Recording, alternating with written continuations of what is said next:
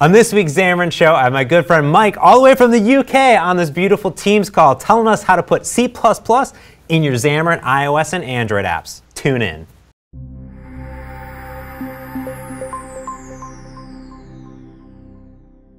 Welcome back, everyone, to the Xamarin Show. I'm your host, James Montemagno, and today I have my good friend Mike Parker on from our mobile CAT team, customer advisory team of awesome, talking about some C++. Mike, how's it going? Not bad, thanks. Thanks for having me on the show. Yeah, absolutely. I'm really excited because I don't know a lot about C++ world. I used to do a lot of C++ in game dev, and I was like, I don't want to do that anymore. But I know that there's a lot of developers and customers I've talked to that have had to put C++ in, so I figured, hey, you're the guy. You're the guy that I want on to talk about it.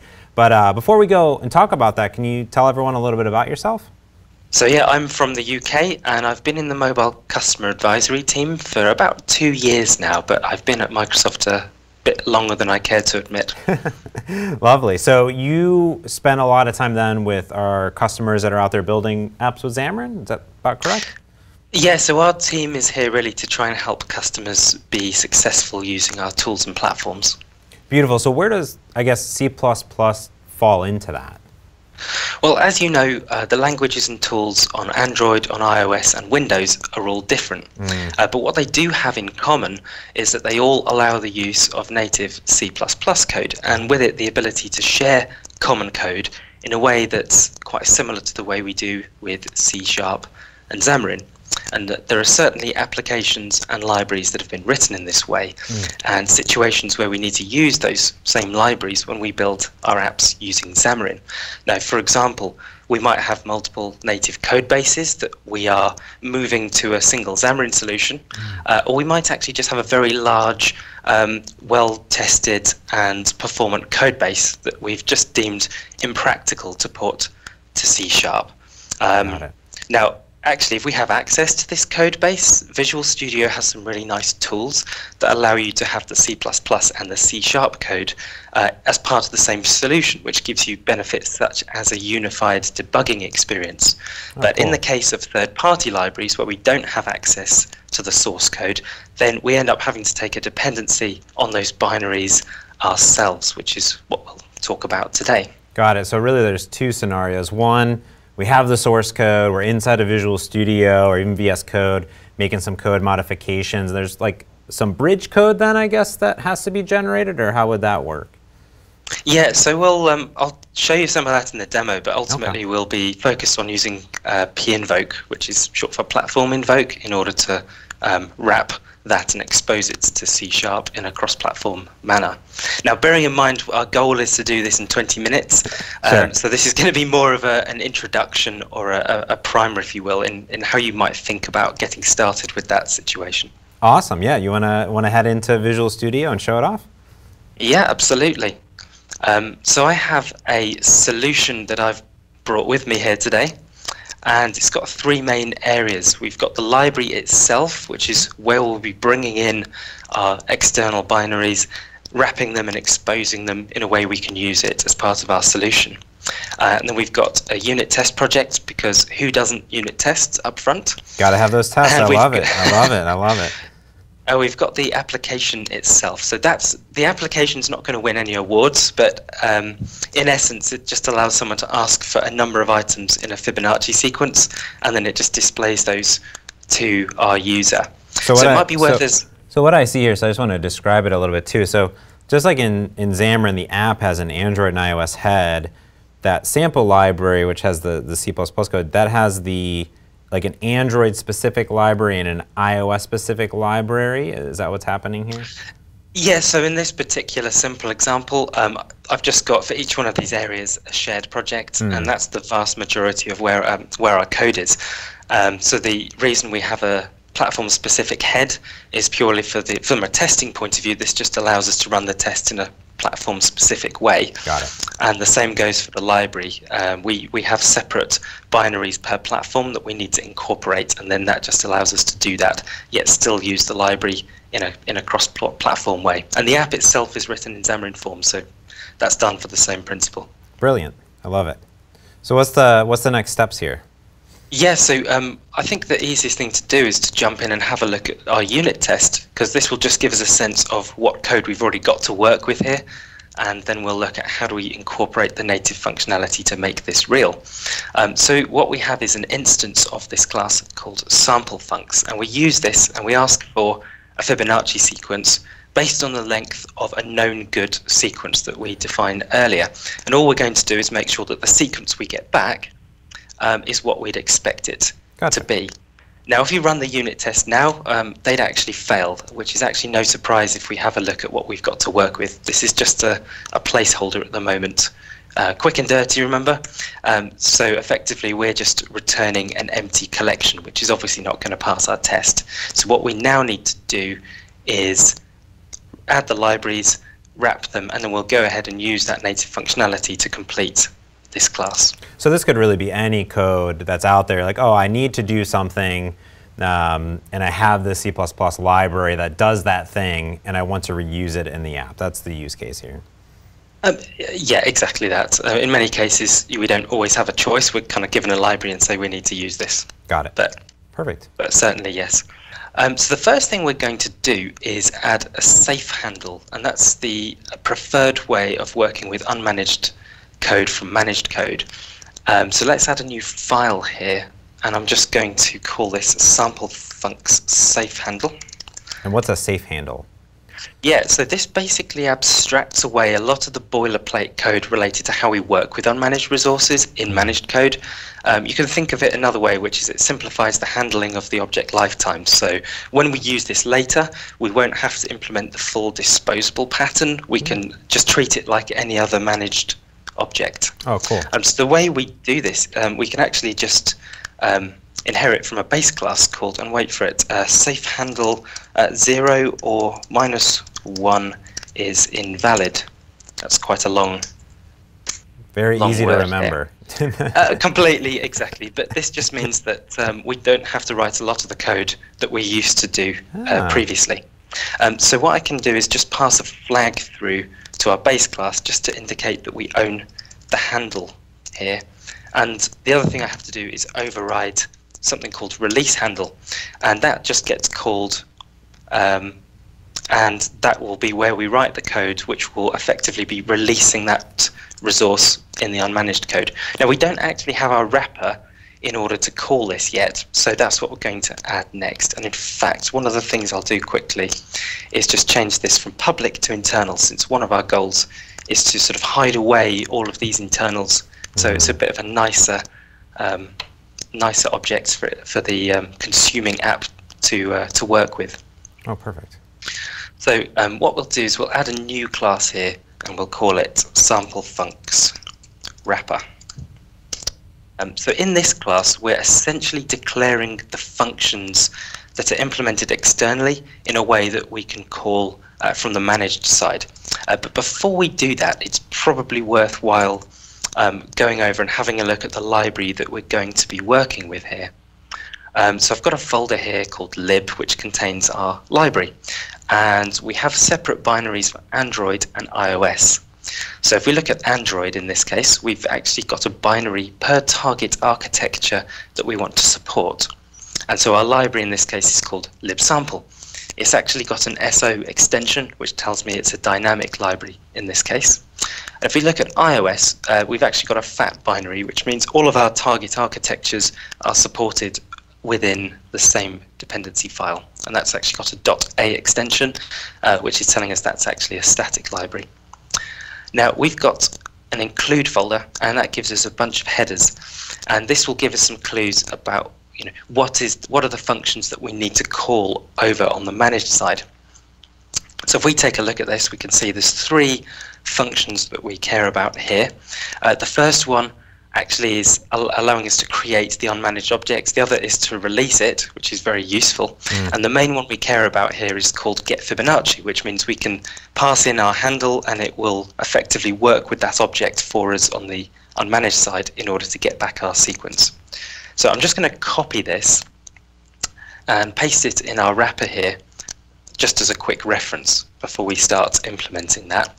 Um, so there's something else that I'll do before we get going. We can turn this to internal. we need to have this as a static class. And actually, I should probably mention I've already taken the liberty of bringing in our native libraries. So I'm just going to open the iOS target here, and you can see I've added this as a native reference. And if I look at the properties, I've just ticked a few flags here. I've asked it to have force load and smart link. And all this is doing is saying, I want this to be linked in. And the smart link is great because it means that it can choose to ignore this if it's unnecessary, which means I just, in a nutshell, I don't have to worry about why things are missing. So that's just, just, that that's just that archive file that you just showed me. So you just brought it into the Xamarin iOS library, checked a few checkboxes, and now that's going to be included in this library. That's right, exactly. Now, um, this is actually a binding library um, because I'm dealing with a static library. This mm. means that when I reference it, it'll handle the linking of that library in the consuming um, app target as well. Now, there's a bunch of scaffolding that comes with a binding project. Uh, there's nothing in these files. It just we need these files for that particular project to build. Um, we can ignore that because we have a shared uh, project that has common code, really. Yeah, because the libraries so, are the, the, the, libraries are the same, right? So the the entire goal is that we're going to create this shared project that's going to have shared C sharp kind of glue to, to, to bridge the world that then the app can consume. So even though we have an Android and iOS library, those are really just to sort of get the scaffolding and the build infrastructure in place. But everything here is, is actually shareable code between those two libraries since it's in that shared project. Exactly that. Um, so Android is similar. Uh, this is just a standard class library in this case. Uh, as a dynamic library, uh, works slightly differently, but mm. effectively we just have to follow a predefined folder structure. So we have a top level folder called libs and subfolders for every target architecture we support, mm. and then the appropriate library file is just you know added within that folder. And in this case for Android, the build action is embedded native library. Nice. Um, but that's effectively um, the only platform-specific configuration that we've had to do, uh, well, for my sample anyway. Yeah, it makes sense. You got to bring in the, the C, C++ code at some point, right? yeah. yeah, exactly. So, so now what we're going to do is write the code where we will effectively say, yeah, these are the native functions that we need to be able to call. Mm. And so let's do that now, and we're going to use the um, extern modifier to define those. And in this case, uh, we can see in our pasted code above um, this is going to return us with a pointer. And let's call this by the same name as our unmanaged counterpart, just for simplicity here. If I could type at this time of night. okay, uh, so that's going to give me a little line to say, well, I've marked this as external, but I haven't added a DLL import attribute to say where, where I can find this implementation. Um, so let's add a DLL import attribute now. So I just have to bring in the interop namespace. In fact, before we do that, um, it's probably a good time to address a slight um, difference between platforms, and in fact, more specifically in this case, Android's using a dynamic library, and iOS is using um, a static library. So I need to write some conditional code, and I try to keep this to a minimum, but let's call this DLL name. And for Android, and more specifically um, for a dynamic library, which is loaded into memory and bound to the process at runtime, it needs to know, first of all, uh, what is this file that we're working with, which is libsample.so. And in the case of iOS, then we'll do something very similar, apart from we're just going to use internal as the value which just says, actually, I should find this function somewhere in the main executable because it's oh, all ah. linked in. Got it. Okay, that makes sense. So now we've got that. Let's just check that's picked up my. Um, yeah, there we go. So effectively, we can write the rest of our code in a more universal manner as a result. So we can pass in DLL name, and the other thing we'll specify is the entry point, which is another word for it. what's the name of the function that we're calling. So in this case, uh, we've actually this is one and the same. This mm. is the same on the unmanaged as it is the managed. Um, now, you don't actually have to provide the entry point if that's the case because it will default to use the managed name, but I prefer to be explicit. Um, that's just me. but this is actually quite useful because sometimes um, libraries can have names which aren't very C sharp like, and it just gives you the chance to provide a more friendly name. Got it. That makes sense. Now, before we carry on, we bothered to define a safe handle, so we might as well actually use that here instead of our um, instead of the raw pointer. And the good thing is actually we don't have to do any additional work. This gets mapped for us automatically oh. as part of the marshalling process. Oh, that's very now, nice. Uh, that's a nice little helper to do that safe handle instead of just doing raw int, int pointers around. Yeah, exactly. It just means uh, we've got less to worry about oh. most of the time. so let's go ahead and move on and we'll do the same for the release sample funcs function above. I'm just going to paste in here at, at risk because um, copy and paste tends to be the devil's tool, I find. But we're just going to make sure we just name it correctly. Now this has actually got a void return type, and it's going to expect us to pass in a pointer, or our safe handle in this case. And lastly, let's go ahead and declare the get Fibonacci. And I can't spell Fibonacci especially hand typing. So let's copy and paste again. Um, now, similar, this requires the handle, but in addition, it it requires the n parameter to say how many items that it should return. And actually, in this case, um, it's actually expecting a callback. So let's actually go ahead and define what that delegate looks like up here. And we'll call this get Fibonacci. I have to concentrate when I write that callback. Perfect. And let's just switch back to our header files because we just want to know what does that delegate signature look like. So here we can see uh, that's going to give us a C-style array with an int value representing the size of that array. So we can copy and paste that so that they match up here, and then we can actually just use that uh, delegate here, complete. Perfect. Yeah, now, so, so uh, it's, kinda, it's kind of nice that you can just reference that header file, pop some of that code over back and forth. Yeah, it's quite. It's. Um, I mean, the the example I've used is obviously very simplistic, just to make our lives easier for the next 20 minutes. But yeah. Um, but yeah, in principle, that's um, a good good place to start. Um, something to point out though is that's not going to work as it is. So we can't automatically marshal a C-style array to a managed array unless mm. we know the size of that array up front, which actually we don't in this case. So instead, what we can do is take a pointer and we can marshal this manually in, you know, when we get the callback once we know the size of that array. Got it. So with that, um, I'm just going to get rid of temporary code here and we'll just switch back over to our safe handle. Uh, so we can complete this release handle now we actually have our wrapper. Oh, and they're all static functions, so this has the handle. You can just call that static function off of it automatically. Exactly. Nice. Um, so I think with that, we have our wrapper. Um, so now we just have to go back to our sample funcs class um, that we were working with earlier. Now this is the um, publicly accessible class that our app and unit tests have been working with to date. Now we've already got the public members defined, so we just need to go ahead and update this to use our wrapper. So the first thing I'm going to do is add a backing field to store um, a reference to our safe handle. Let's call this handle. And what I want is to initialize this when the sample funcs class is instantiated.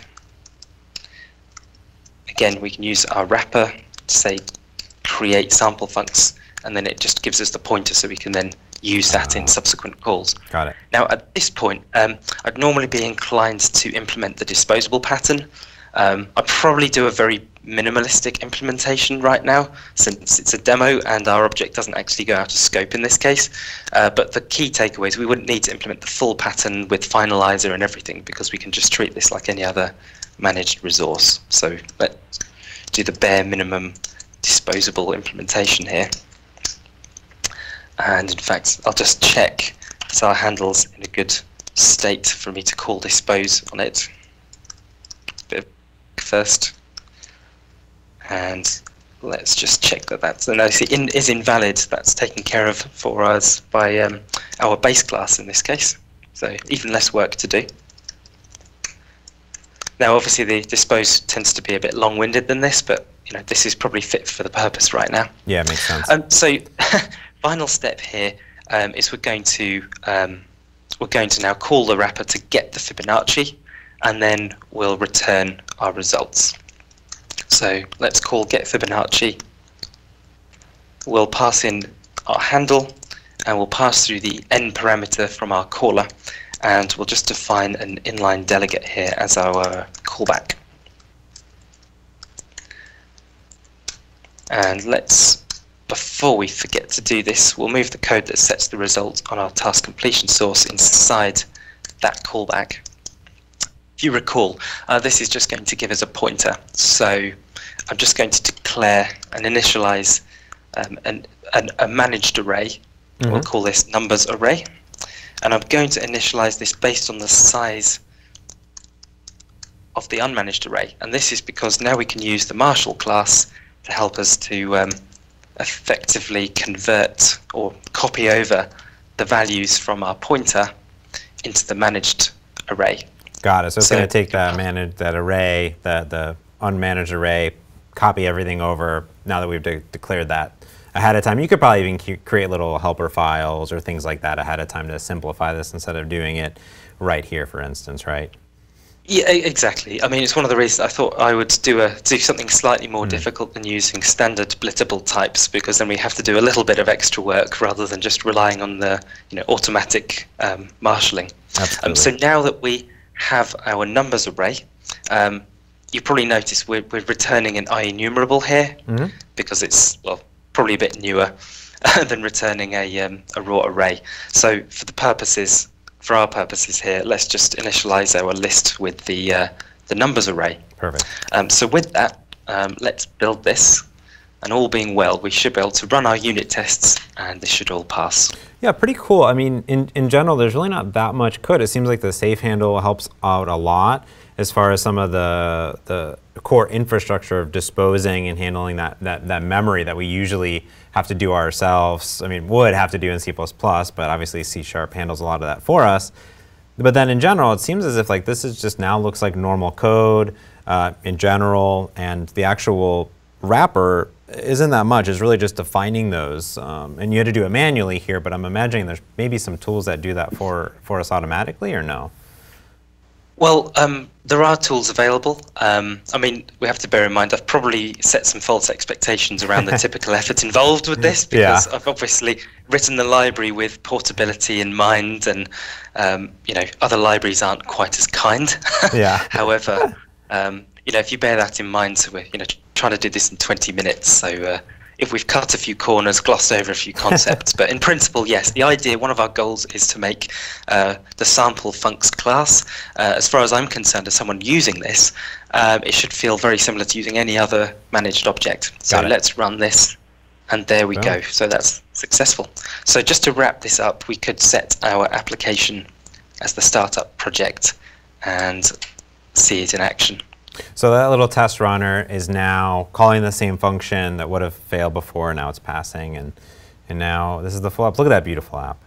Uh, exactly, you know, design awards uh, coming my way, I'm sure. So, yep, we've got 10 items, and for good measure, we'll just up this to 15 to make sure we get more items.